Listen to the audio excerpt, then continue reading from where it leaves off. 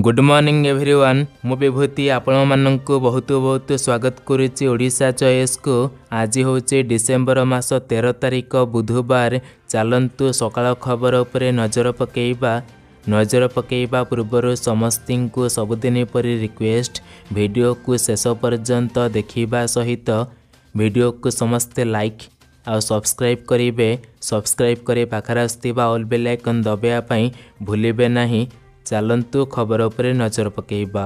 Late start ଖବର CBSE ଦଶମ ଯୁକ୍ତ ଦୁଇ ପରୀକ୍ଷା ତାରିଖ ଘୋଷଣା ଫେବୃଆରୀ ପନ୍ଦରରୁ ଆରମ୍ଭ ହେବ ପରୀକ୍ଷା। ସିବିଏସ୍ଇ ଦଶମ ଯୁକ୍ତ ଦୁଇ ପରୀକ୍ଷା ପାଇଁ ହେଲା ତାରିଖ ଘୋଷଣା।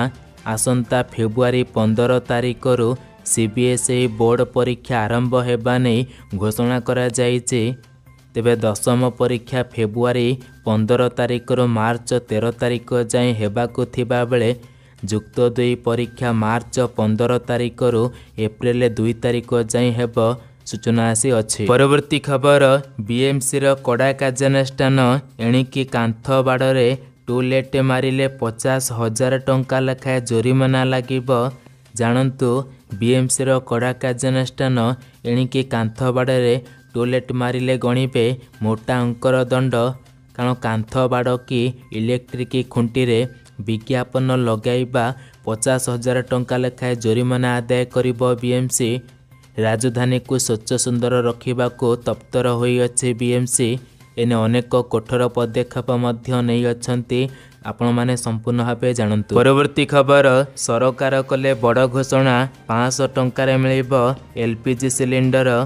Telangana Congress ସରକାର ଆସନ୍ତା ଶହେ ଦିନ ଭିତରେ ଏଲ୍ ପି ଜି ସିଲିଣ୍ଡର ପାଞ୍ଚଶହ ଟଙ୍କାରେ ଯୋଗାଇ ଦେବା ସହିତ ଧାନ କ୍ରୟରେ କୁଇଣ୍ଟାଲ ପିଛା ପାଞ୍ଚଶହ ଟଙ୍କା କୃଷକମାନଙ୍କୁ ପ୍ରଦାନ କରିବା ଲାଗି ନୂଆ ଯୋଜନା କାର୍ଯ୍ୟକାରୀ କରିବାକୁ ପ୍ରତିଶ୍ରୁତି ଦେଇଛନ୍ତି। ସରକାରଙ୍କର ନାଗରିକ ଯୋଗାଣ ମନ୍ତ୍ରୀ ଉତ୍ତମ କୁମାର ରେଡ୍ଡି ମଙ୍ଗଳବାର ଏହା କହିଥିବା ସୂଚନା ଆସିଅଛି। ପରବର୍ତ୍ତୀ ଖବର national thermal power corporation mines limited ବିଭିନ୍ନ ପଦବୀ ପାଇଁ ବିଜ୍ଞପ୍ତି ବାହାର କରିଛି। ଏହି ନିଯୁକ୍ତି ପ୍ରକ୍ରିୟାରେ ମାଇନ ଓଭରମ୍ୟାନ୍ ମାଗାଜିନ୍ ଇନଚାର୍ଜ ସେହିପରି ମେକାନିକାଲ ସୁପରଭାଇଜର ସହିତ ଅନ୍ୟାନ୍ୟ ପଦବୀ ପୂରଣ ହେବ। ତେବେ ନିଯୁକ୍ତି ପାଇଁ ଅନଲାଇନ୍ ଆବେଦନ ପ୍ରକ୍ରିୟା ଆରମ୍ଭ ହୋଇଅଛି। ଯୋଗ୍ୟ ଓ ଆଗ୍ରହୀ ପ୍ରାର୍ଥୀମାନେ ଏନ୍ଟିପିସିର official website C A R E S dot N T P C dot dot co dot ଇନ୍କୁ ଯାଇ ଅନଲାଇନ୍ ଆବେଦନ କରିପାରିବେ। ପରବର୍ତ୍ତୀ ଖବର ଆଧାର କାର୍ଡ଼ ଥିବା ଲୋକମାନଙ୍କ ପାଇଁ ଆସିଲା ଏକ ବଡ଼ ଖବର। ଅନ୍ୟାନ୍ୟ ପରିଚୟ ପଧିକରଣ ପୁଣି ଥରେ ଆଧାରକୁ ଅପଡ଼େଟ୍ କରିବାର ସମୟସୀମା ବଢ଼ାଇ ଦେଇଛନ୍ତି ମାଗଣାରେ ଯେଉଁମାନେ ଆଧାର ଅପଡ଼େଟ୍ କରିବାର ଶେଷ ତାରିଖ ଚଉଦ ଡିସେମ୍ବରରେ ଶେଷ ହେଉଥିଲା ବର୍ତ୍ତମାନ ପୁଣି ବଢ଼ିଅଛି। ମାର୍ଚ୍ଚ ଚଉଦ ପର୍ଯ୍ୟନ୍ତ ତେବେ ମାର୍ଚ୍ଚ ଚଉଦ ମାର୍ଚ୍ଚ ଦୁଇହଜାର ଚବିଶ ପର୍ଯ୍ୟନ୍ତ କୌଣସି ଶୁଳ୍କ ନ ଦେଇ ଆପଣ ଆଧାର ପୋର୍ଟାଲ ମାଧ୍ୟମରେ ଆଧାର ଅପଡ଼େଟ୍ କରିପାରିବେ। ପରବର୍ତ୍ତୀ ଖବର ଜେଲରୁ ମୁକୁଳିବା ପରେ ଲ ପରୀକ୍ଷା ଦେଲେ ଅର୍ଚ୍ଚନା ନାଗ ଜେଲରୁ ମୁକୁଳିବା ପରେ ଲ ପରୀକ୍ଷା ଦେଲେ ଅର୍ଚ୍ଚନା ନାଗ କାଲି କ୍ୟାପିଟାଲ ଲ କଲେଜରେ ପରୀକ୍ଷା ଦେଇଛନ୍ତି ପରୀକ୍ଷା ହଲରୁ ବାହାରିବା ପରେ ଅର୍ଚ୍ଚନା କହିଛନ୍ତି ଜେଲ୍ ଯିବା ତାଙ୍କ ପାଇଁ ସୁବର୍ଣ୍ଣ ସୁଯୋଗ ଥିଲା। ଅନେକ କଥା ଶିଖିଲେ ଆଇନ ଉପରେ ତାଙ୍କର ଭରସା ଅଛି କହିଛନ୍ତି। ପରବର୍ତ୍ତୀ ଖବର ପିଆଜ ଦର କେବେ କମିବ ଜାଣନ୍ତୁ। ନୂଆବର୍ଷ ପର୍ଯ୍ୟନ୍ତ ମହଙ୍ଗା ପିଆଜର ନିସ୍ତାର ମିଳିବା କମ୍ ସମ୍ଭାବନା ରହିଛି। ଆସନ୍ତା ବର୍ଷ ଜାନୁଆରୀରେ ପିଆଜର କେଜି ପିଛା ଦାମ ଚାଳିଶ ଟଙ୍କା ତଳକୁ ଖସିବ ବୋଲି କେନ୍ଦ୍ର ଉପଭୋକ୍ତା ବ୍ୟାପାର ସଚିବ ରୋହିତ କୁମାର ସିଂହ କହିଛନ୍ତି ଦେଶର ବିଭିନ୍ନ ସ୍ଥାନରେ ଏବେ ଚାଳିଶରୁ ଷାଠିଏ ଟଙ୍କାରେ ପିଆଜ ବିକ୍ରି ହେଉଛି। ନୂଆ ବର୍ଷ ପରେ ପରେ ପିଆଜ ଦର କମିବ ବୋଲି ଜଣାପଡ଼ିଅଛି। ପରବର୍ତ୍ତୀ ଖବର ସାମୁଦ୍ରିକ ଝଡ଼ ମିଗ୍ଜମ୍ ତାମିଲନାଡୁ ଓ ଆନ୍ଧ୍ରପ୍ରଦେଶରେ ତାଣ୍ଡବ ରଚିଥିଲା ବର୍ତ୍ତମାନ ବି କିଛି ସ୍ଥାନରେ ସ୍ଥିତି ସ୍ୱାଭାବିକ ହୋଇନାହିଁ। ତେବେ ରେସ୍କ୍ୟୁ ଅପରେସନ୍ ଏବେ ବି ଜାରି ରହିଅଛି। ସ୍ଥଳଭାଗ ଛୁଇଁବା ପରେ ତାଣ୍ଡବ ରଚିଥିଲା ବାତ୍ୟା ମିଗ୍ଜମ୍। ଏହାରି ମଧ୍ୟରେ ଆଉ ଏକ ବଡ଼ ଖବର ସାମ୍ନାକୁ ଆସିଅଛି। ଭାରତୀୟ ପାଣିପାଗ ବିଭାଗ ପକ୍ଷରୁ ଆଉ ଏକ ଲଘୁଚାପ ଆସୁଥିବା ନେଇ ଚେତାବନୀ ଦିଆଯାଇଛି। ଯାହା ଆସନ୍ତା ଚବିଶ ଘଣ୍ଟା ମଧ୍ୟରେ ଆଉ ଏକ ଲଘୁଚାପ ସୃଷ୍ଟି ହୋଇପାରେ। ପାଣିପାଗ ବିଭାଗ ପକ୍ଷରୁ ଜାରି ସୂଚନା ଅନୁଯାୟୀ ଆରବ ସାଗରରେ ଆଉ ଏକ ଲଘୁଚାପ କ୍ଷେତ୍ର ସୃଷ୍ଟି ହେବାକୁ ଯାଉଛି।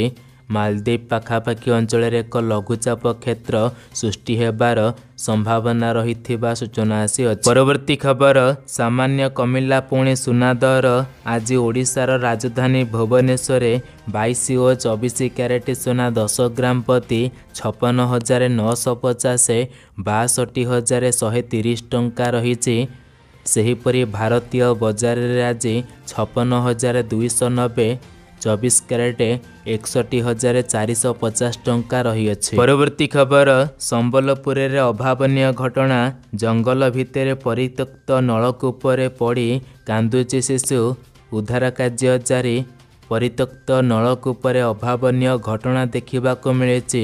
ପରିତ୍ୟକ୍ତା ନଳକୂପ ଭିତରୁ ନବଜାତ ଶିଶୁର କାନ୍ଦଣା ଶୁଭୁଛି। ସମ୍ବଲପୁର ଜିଲ୍ଲା ରେଙ୍ଗାଳି ଥାନା ଅନ୍ତର୍ଗତ ଲୋରି ପାରିସ୍ଥିତ ଶ୍ରୀରାମ ବୁଢ଼ା ଜଙ୍ଗଲରେ କାଲି ଅପରାହ୍ନରେ ଏଭଳି ପରିସ୍ଥିତି ଦେଖିବାକୁ ମିଳିଅଛି ଏବେ ଉଦ୍ଧାର କାର୍ଯ୍ୟ ଜାରି ରହିଅଛି। ପରବର୍ତ୍ତୀ ଖବର ଦୁଇ ହଜାର ତେଇଶ ଚବିଶ ଖରିଫ ମାଣ୍ଡିଆ ସଂଗ୍ରହ ଆସନ୍ତା ଜାନୁଆରୀ ପହିଲାରୁ ଆରମ୍ଭ ହେବ। ଏହି ପ୍ରକ୍ରିୟା ଦୁଇ ହଜାର ଚବିଶ ମାର୍ଚ୍ଚ ଏକତିରିଶ ତାରିଖ ପର୍ଯ୍ୟନ୍ତ ଚାଲିବ। ଏଥିପାଇଁ ରାଜ୍ୟର ସମସ୍ତ ମାଣ୍ଡିଆ ଚାଷୀ ସରକାରୀ ଅନୁମୋଦିତ ସଂଗ୍ରହକାରୀ ସଂସ୍ଥାଙ୍କ ସଂଗଠନ ତେବେ ପାର୍ଟାସ୍ ଏବଂ ଲ୍ୟାମ୍ପସ୍ ମହିଳା ସ୍ୱୟଂ ସହାୟକ ଗୋଷ୍ଠୀ ମାଧ୍ୟମରେ ଆସନ୍ତା ଏକତିରିଶ ତାରିଖ ମଧ୍ୟରେ ପଞ୍ଜୀକରଣ କରିବାକୁ ଓଡ଼ିଶା ମିଲ୍ଟିମିଶନ ପକ୍ଷରୁ ଅନୁରୋଧ କରାଯାଇଅଛି। ପରବର୍ତ୍ତୀ ଖବର ଡିସେମ୍ବର ଚବିଶରେ ସମ୍ବଲପୁର ଆସିପାରନ୍ତି ପ୍ରଧାନମନ୍ତ୍ରୀ ନରେନ୍ଦ୍ର ମୋଦି। ଡିସେମ୍ବର ଚବିଶ ତାରିଖରେ ପ୍ରଧାନମନ୍ତ୍ରୀ ନରେନ୍ଦ୍ର ମୋଦି ସମ୍ବଲପୁର ଆସୁଥିବା ଜଣାଯାଇଛି। ଏନେ ପିଏମ୍ଓ କୌଣସି ସୂଚନା ଦିଆଯାଇ ନଥିଲେ ବି ତେବେ ବିଶେଷ ସୂତ୍ରରୁ ଏନେଇ ସୂଚନା ମିଳିଛି।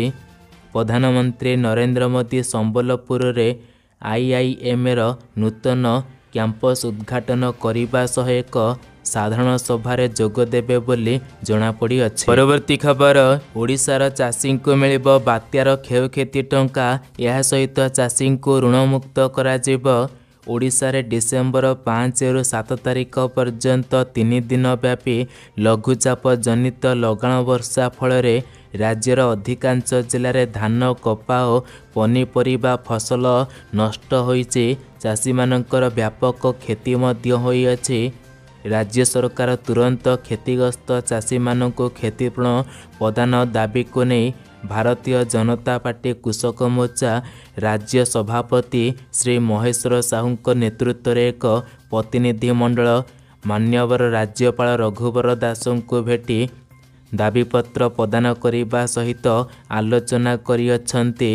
ପନ୍ଦର ଦିନ ଭିତରେ ଚାଷୀଙ୍କୁ କ୍ଷତିପୂରଣ ଦିଅନ୍ତୁ ରାଜ୍ୟ ସରକାର ତେବେ ମହେଶ୍ୱର ସାହୁ ଚାଷୀଙ୍କର ଦାବି ପୂରଣ ନହେଲେ ଆଗାମୀ ଦିନରେ ବିଜେପି କୃଷକ ମୋର୍ଚ୍ଚା ଆନ୍ଦୋଳନ କରିବ। ତେବେ ଜମିକୁ ଜଳସେଚନ ଓ ଶୀତଳ ଭଣ୍ଡାର କରିବାରେ ରାଜ୍ୟ ସରକାର ସମ୍ପୂର୍ଣ୍ଣ ବିଫଳ। କୃଷିଜାତୀୟ ଦ୍ରବ୍ୟ ବିକ୍ରି ଓ ସୁରକ୍ଷିତ ରଖିବା ପାଇଁ ବ୍ୟବସ୍ଥା କରିବାରେ ବିଫଳ ରାଜ୍ୟ ସରକାର। ଏପରି ଏବେ ଦାବି ହୋଇଅଛି। ତେବେ ଆପଣମାନଙ୍କର ମତାମତ କ'ଣ? ଓଡ଼ିଶାରେ ବାତ୍ୟା ପାଇଁ କ୍ଷୟକ୍ଷତି ପାଇଁ କେତେ ଟଙ୍କା ମିଳିବା ଦରକାର ଏବଂ ଋଣମୁକ୍ତ କରାଯିବା ଉଚିତ କି ନାହିଁ ନିଶ୍ଚୟ ଭାବେ ଆପଣଙ୍କର ମତ ରଖିବେ। ପରବର୍ତ୍ତୀ ଖବର ଯୁକ୍ତ ଦୁଇ ଛାତ୍ରଛାତ୍ରୀଙ୍କ ପାଇଁ ଏକ ବଡ଼ ସୂଚନା। ଜାନୁଆରୀ ଦୁଇରୁ ହେବ ପ୍ରାକ୍ଟିକାଲ ପରୀକ୍ଷା। ଜାନୁଆରୀ ଦୁଇରୁ ଯୁକ୍ତ ଦୁଇ ପ୍ରାକ୍ଟିକାଲ ପରୀକ୍ଷା ଆରମ୍ଭ ହେବ। ଉଚ୍ଚ ମାଧ୍ୟମିକ ଶିକ୍ଷା ପରିଷଦ ପକ୍ଷରୁ ଆସନ୍ତା ଛବିଶ ତାରିଖ ଠାରୁ ପରୀକ୍ଷା କେନ୍ଦ୍ରଗୁଡ଼ିକକୁ ପରୀକ୍ଷା ସମ୍ପର୍କିତ ଫର୍ମ ପ୍ରଶ୍ନପତ୍ର ଉତ୍ତର ଖାତା ପଠାଇ ଦିଆଯିବ। ତେବେ ଡିସେମ୍ବର ଏକତିରିଶ ସୁଦ୍ଧା ସମସ୍ତ ଉଚ୍ଚ ମାଧ୍ୟମିକ ବିଦ୍ୟାଳୟଗୁଡ଼ିକରେ ଏହା ପହଞ୍ଚିବ। ସେହିପରି ପନ୍ଦର ମାର୍କ ବିଶିଷ୍ଟ ପ୍ରାକ୍ଟିକାଲ ପାଇଁ ଦୁଇ ଘଣ୍ଟା ସେହିପରି ଷାଠିଏ ତିରିଶ ଓ କୋଡ଼ିଏ ମାର୍କ ପରୀକ୍ଷା ପାଇଁ ତିନି ଘଣ୍ଟା ଧାର୍ଯ୍ୟ ହୋଇଅଛି।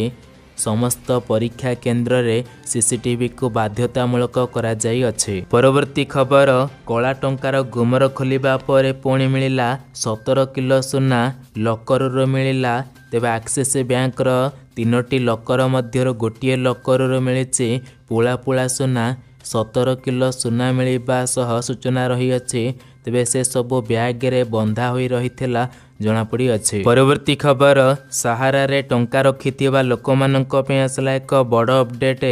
ସାହାରା ଗ୍ରୁପରେ ଦେଶର ଲକ୍ଷାଧିକ ନିବେଶକଙ୍କର କୋଟି କୋଟି ଜମା ଅର୍ଥ ପଡ଼ି ରହିଛି। କିଛି ମାସ ତଳେ କେନ୍ଦ୍ର ସରକାରଙ୍କ ପକ୍ଷରୁ ଏକ ପୋର୍ଟାଲ ମାଧ୍ୟମରେ ପ୍ରଥମ ପର୍ଯ୍ୟାୟରେ କିଛି ନିବେଶକଙ୍କୁ ଜମା ଅର୍ଥ ଫେରସ୍ତ କରାଯାଇଥିଲା। ତେବେ ଗତ ମାସ ଚଉଦ ତାରିଖରେ ସାହାରା ଗ୍ରୁପର ପ୍ରତିଷ୍ଠାତା ତେବେ ସୁବ୍ରତ ରାୟଙ୍କର ବିୟୋଗରେ ଜମାକାରୀଙ୍କୁ ଲାଗିଥିଲା ଏକ ବଡ଼ ଝଟକା। ନିଜ ନିଜର ଜମା ଅର୍ଥ ଫେରି ପାଇବା ନେଇ ଆଶା ପ୍ରକାଶ କରିଥିଲେ ଲକ୍ଷ ଲକ୍ଷ ନିବେଶକ। ତେବେ ଏହା ମଧ୍ୟରେ ନିବେଶକଙ୍କ ପାଇଁ ଆସିଅଛି ଏକ ବଡ଼ ଅପଡେଟ୍। କେନ୍ଦ୍ର କୋଅପରେଟିଭ୍ କାର୍ଯ୍ୟ ରାଷ୍ଟ୍ରମନ୍ତ୍ରୀ ଇନ୍ଦ୍ରାଜିତ ସିଂହ ଲୋକସଭାରେ ଏକ ପ୍ରଶ୍ନର ଲିଖିତ ଉତ୍ତର ଦେଇଛନ୍ତି ସାହାରା ମୁଖ୍ୟ ସୁବ୍ରତ ରାୟଙ୍କ ପରଲୋକ ପରେ ଯାଞ୍ଚ ଓ କାର୍ଯ୍ୟାନୁଷ୍ଠାନ ଅଟକିବା ନାହିଁ ଲୋକଙ୍କର ଟଙ୍କା ମିଳିବ ବୋଲି ସେ ଘୋଷଣା କରିଛନ୍ତି। ପରବର୍ତ୍ତୀ ଖବର ସମସ୍ତଙ୍କୁ ମିଳିବ ପାଞ୍ଚ ହଜାର ଟଙ୍କା ବ୍ୟାଙ୍କ ଖାତାରେ ପ୍ରତି ମାସରେ ଯଦି ଆପଣମାନେ ଏହି ପାଞ୍ଚ ହଜାର ଟଙ୍କା ମୃତ୍ୟୁ ପର୍ଯ୍ୟନ୍ତ ପାଇବା ପାଇଁ ଚାହୁଁଛନ୍ତି ଆପଣମାନଙ୍କର ବୟସ ଅଠରରୁ ଚାଳିଶ ବର୍ଷ ଭିତରେ ହୋଇଥିବା ଲୋକମାନେ ହିଁ କେବଳ ଏବେ ହିଁ ଆବେଦନ କରନ୍ତୁ। ଆପଣମାନେ ପାଇବେ ଷାଠିଏ ବର୍ଷ ଯେଉଁ ଦିନଠାରୁ ପୂରିବ ସେହି ମାସଠାରୁ ଆପଣମାନେ ମୃତ୍ୟୁ ପର୍ଯ୍ୟନ୍ତ ପାଇବେ ପାଞ୍ଚ ହଜାର ଟଙ୍କା। ଏଥିପାଇଁ ଆପଣମାନେ ଅଟଳ ପେନ୍ସନ୍ ଯୋଜନାରେ ସାମିଲ ହୋଇପାରିବେ ବ୍ୟାଙ୍କରେ ବା ଅନଲାଇନରେ ଡାଇରେକ୍ଟ ସାମିଲ ହୋଇପାରିବେ ଯାହାଫଳରେ ଆପଣମାନଙ୍କ ଆଧାର ଓ ବ୍ୟାଙ୍କ ଖାତା ଜରିଆରେ ଆପଣମାନେ ଏହି ସ୍କିମ୍ରେ ଅନ୍ତର୍ଭୁକ୍ତ ହୋଇପାରିବେ। ପ୍ରତି ମାସରେ ପଞ୍ଚାବନରୁ ଦୁଇଶହ ଟଙ୍କା ହିସାବରେ ଆପଣଙ୍କର ବୟସ ହିସାବରେ ଟଙ୍କା କଟିବ ତାପରେ ଟଙ୍କା ମିଳିବ। ପରବର୍ତ୍ତୀ ଖବର ନିଜ ବାହାଘରରେ ମଦ ପିଇ ନାଚିଲା ବର ମଦୁଆ ବରକୁ ବାହା ହେବାକୁ ମନା କରିଦେଲେ କନିଆ।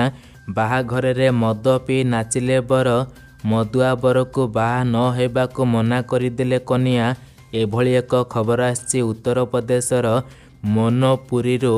ତେବେ ବିବାହ ପାଇଁ କନ୍ୟା ଘର ଦ୍ୱାରରେ ଆସି ପହଞ୍ଚି ସାରିଥିଲା ବରଯାତ୍ରୀ। ଭୋଜି ଭାତ ସହିତ ସବୁକିଛି ଚାଲିଥିଲା। ଠିକ୍ ସମୟରେ ବର ଓହ୍ଲାଇ ଗାଡ଼ିରୁ ନାଚୁଥିଲା। ସେହି ପରିସ୍ଥିତି ଦେଖି କନ୍ୟା ଏବେ ବାହା ହେବା ପାଇଁ ମନା କରିଦେଇଥିବା ସୂଚନା ଆସିଅଛି। ବାସ୍ ଏଇ ଥିଲା ଇନଫର୍ମେସନ୍ ଭିଡ଼ିଓଟି ଶେଷ ପର୍ଯ୍ୟନ୍ତ ଦେଖିଥିବାରୁ ବହୁତ ବହୁତ ଧନ୍ୟବାଦ।